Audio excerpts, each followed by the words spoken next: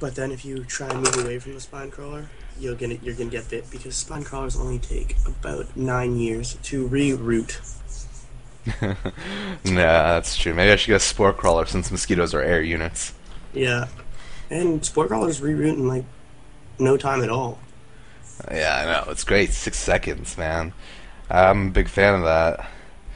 They uh, they know where they're coming from. They're like uh, Mhm. they're like what digs really quickly. What animal besides roaches? What animal digs really? Actually, that's like it's really impressive how overlords and roaches can dig so quickly. Like overlords is just like okay, I'm just gonna go underground. I'm just weigh like three thousand tons, I'm bigger than buildings. And BTW, you know what I never understood about StarCraft? But Why can't battle cruisers just land and shoot? yeah, that would be awesome. Well, like van- like what? These giant battle cruisers can't land. Like so, they're just gonna stay up there forever. They should be And, able to land and like become meat shields. Mm-hmm. Be able to take like a billion banelings. Yeah, exactly. At least they'll be good for that. It'll be like 20 ban. I'm not sure actually. How much HP do battle cruisers start out with? Five hundred and fifty, I believe. So banelings do yeah, yeah a million. I think that's accurate number.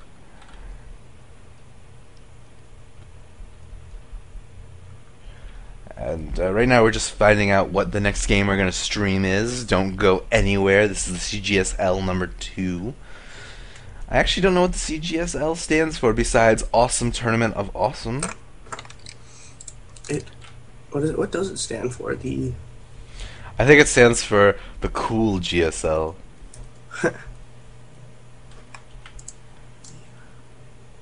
I think that's what it is.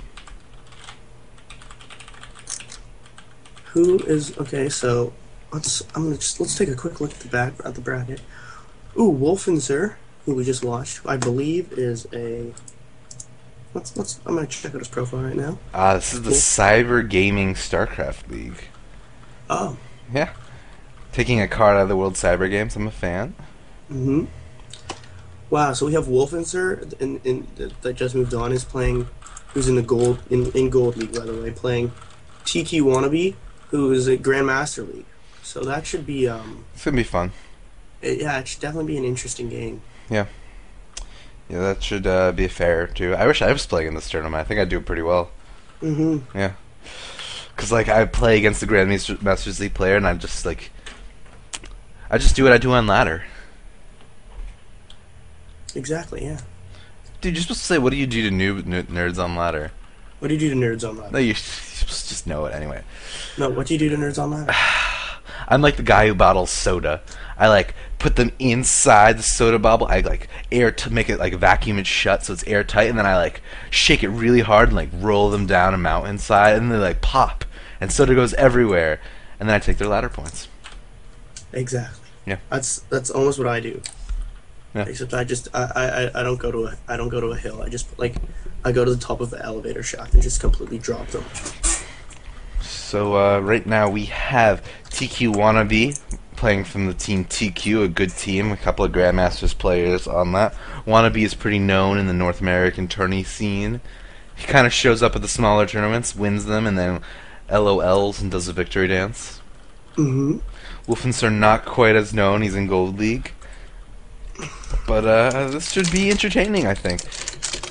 Should be uh yes. What um is is wannabe a, a, a Terran player? He is a Terran player. I hope he's playing Terran. Be funny if he was off racing, but uh, Oh, oh, I want to see him go rando. He probably probably plays a pretty mean every other race though. I wouldn't be surprised. That's not always true. I know a guy who is in high high masters, like he should be in grandmasters, like Destiny, but uh, he uh, he uh, what's the word? Sucks at any other race but his own. Like he plays at maybe a silver league level. Actually, wow. Yeah, so it, it, you can be really good with one race and really bad with other races pretty easily. StarCraft's a very complex game. That it is. Oh, I love it when we hear the countdown in the background. It just makes me so happy. Unless you didn't mean to queue up for ladder or something and just starts and you're like, Yeah, darn yeah. it! Or you're playing a custom game and everyone leaves and you're forced to like watch the custom game. Or like, or you join it, you join it, and and you uh, yeah yeah you you join and everyone leaves, and then but you start, and then you look up and everyone's gone. And if it's one of those ones that takes a long time to load, that's a pain. Yeah, I know what you mean. And we are here at the CGSL number two in the bottom right hand corner, the Terran Hero, TQ Wannabe. And the top left hand corner, the Pink Zerg, Wolfenser. Right now we are having a ZVT on MLG Shakuras Plateau. Both players typing good luck, have fun.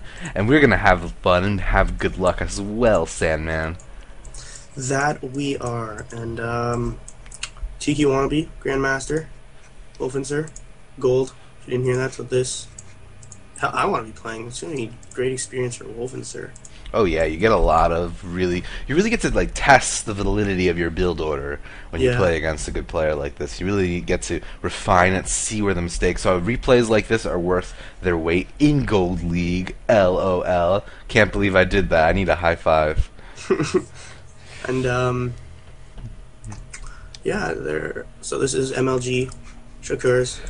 You can tell by the supply depot at the bottom as to disallow wall offs at the bottom of the ramp, and um, you cannot spa- spawn close position, only cross or uh, close by air. A lot of people ask me what that supply depot at the bottom is really for. Like they don't see any wall offs recently, but if you read the Team Liquid forums, you'd see Kiwikaki just made a post about his three cannon, three pylon ca- wall in, then to Blink Stalker Rush, and he wins like 85% of his games where he does that against Zerg. Very. I'm, And so you get this supply depot sort of like prevents that from happening. You're not allowed to wall in and put cannons behind it or bunkers. And uh, Wolfens are playing very standard right now, 15 hatch going down. And I'm really curious about what TQ Wannabe is going to do. I really expect Terran to wall in at their natural on this map. I love seeing the two racks expand build. Very safe. But uh, he is getting a gas. There will be some sort of tech on the way. I'm going to expect some sort of Hellion play. We do see that a lot lately against Zerg, especially last night in the GSL. If you guys stood up, stood up. Actually, GSL on Friday nights is pretty early, so I stood up to like maybe 1 a.m. yeah, definitely. Um, I'd like to see either the Hellions or. I'm surprised no real bunker aggression yet.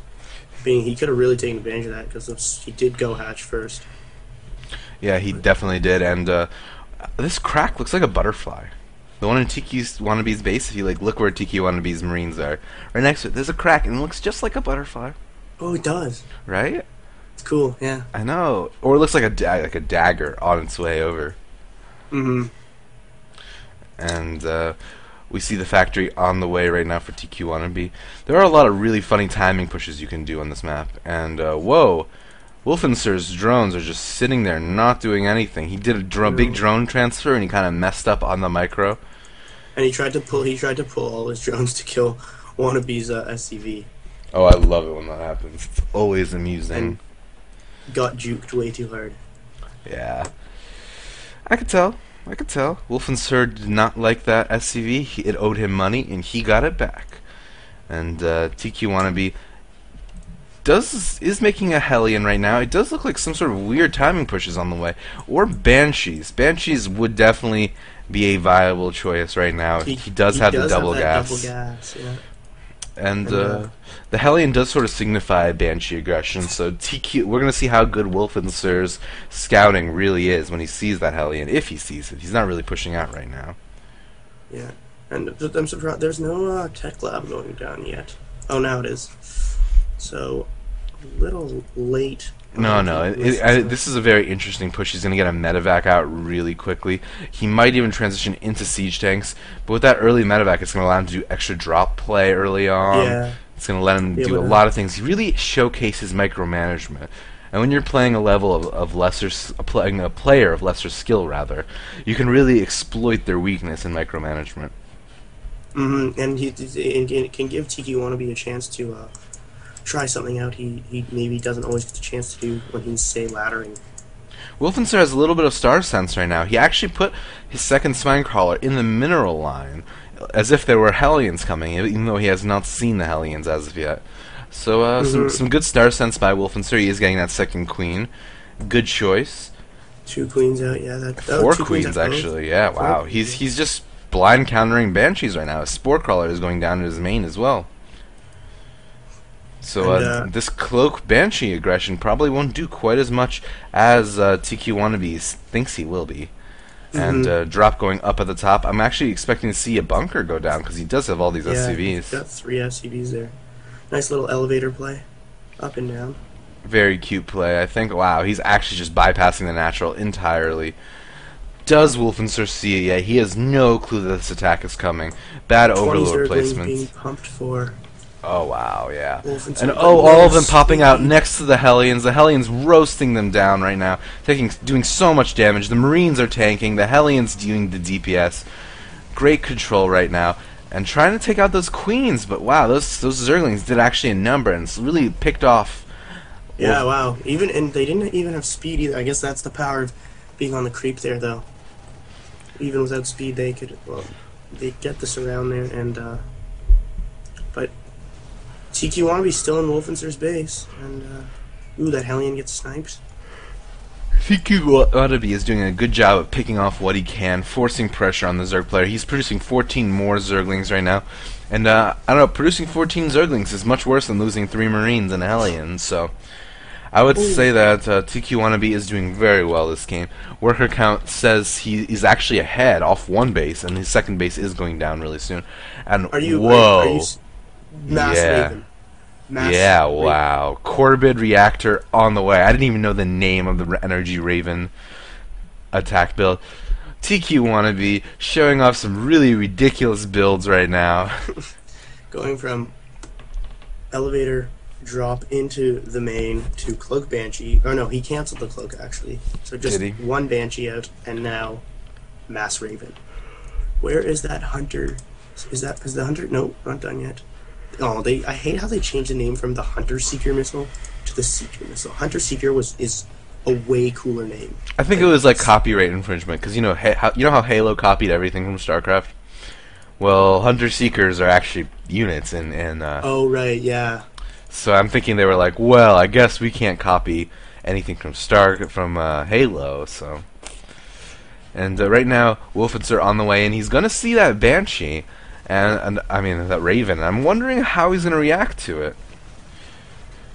He is throwing down two more hatcheries, and uh, this is actually a really good response to Mass Raven. Ravens don't really do that much damage straight up.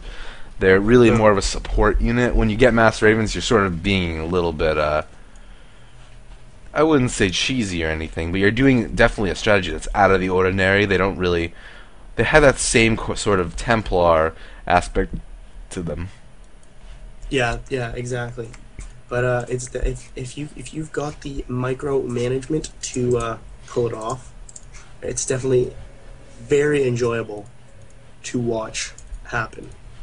He does have three starports to pump ban uh, to pump ravens over and over again. I keep saying ban banshees, man, but uh, they're they're ravens. They're a murder of ravens. They're black and red. Ravens are actually one of the coolest units. Yeah, they are. They look really awesome. And but want to be going for the uh, that Terran building armor as well. So um, No, the I guess he's the reason he's doing these Terran building armor is it actually upgrades the turrets. oh Yeah, so the turrets actually do a lot more damage, and well, not damage rather. They take a lot more hits. they can take yeah. And uh, I actually would really like to see him upgrade durable materials. And I, whoa, I am like a psychic. My mouse is over and everything. And uh, this is such a great upgrade because auto turrets end up lasting like three or four game minutes straight. You could actually have Which auto turrets in your base, like sitting there, and then you could get that energy back by the time you get to your opponent's base. And wow, I, I just love Ravens. They're such a cool tactical unit. I don't think people are going to go TQ mass Ravens in the future, but I do think that Ravens are going to be more incorporated against Zerg. TQ going for that double expand as well, and um, I'm surprised that there's no seeker missile yet. Well, Uh, you really need a reason to go Seeker Missile. You need to see like a Mass Mutable Yeah. or a Seeker Missile is a really cool upgrade, and it's a little bit dangerous overall because you could actually hurt yourself pretty easily. I I know Yeah. that whenever I go Mass Ravens, I end up losing a lot of my own units to my own Seeker Missiles, and wow, throwing down a lot of turrets right here. That plus two building, oh my god, wow, those those these units have so much armor right now. Because of that upgrade, and they're doing a lot of damage to the mineral line.